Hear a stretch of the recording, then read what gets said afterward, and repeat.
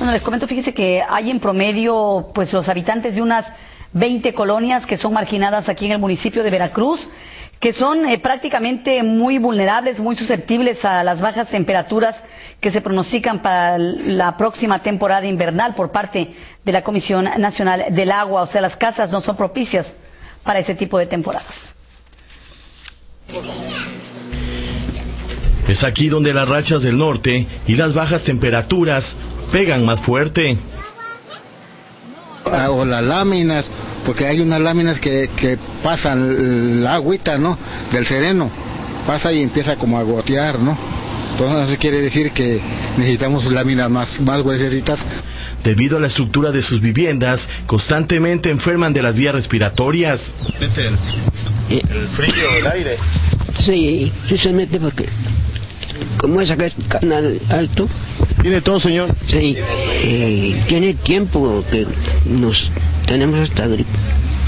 Hemos ido al centro de salud, pero uno nos no, nos, pues no le atinan a la tos, es tos y este y el movimiento de nariz.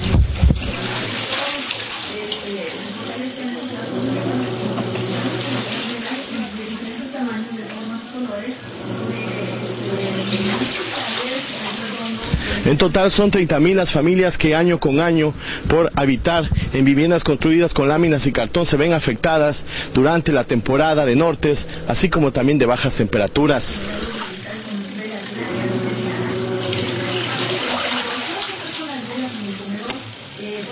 básicamente las colonias irregulares. Colonias, eh, tenemos detectadas eh, un poco más de 20 colonias que requieren ya de, una, de un cambio, de una regularización. De acuerdo al pronóstico del tiempo, este jueves las rachas del norte incrementarán. Esperamos ya nortes eh, de 50 a 60 con rachas de 80 kilómetros por hora.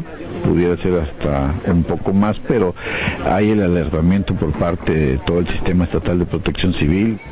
También bajará la temperatura en 0 grados en algunas porciones allá por Perote y por Orizaba, en La Perla. La recomendación es abrigar bien a niños y personas de la tercera edad.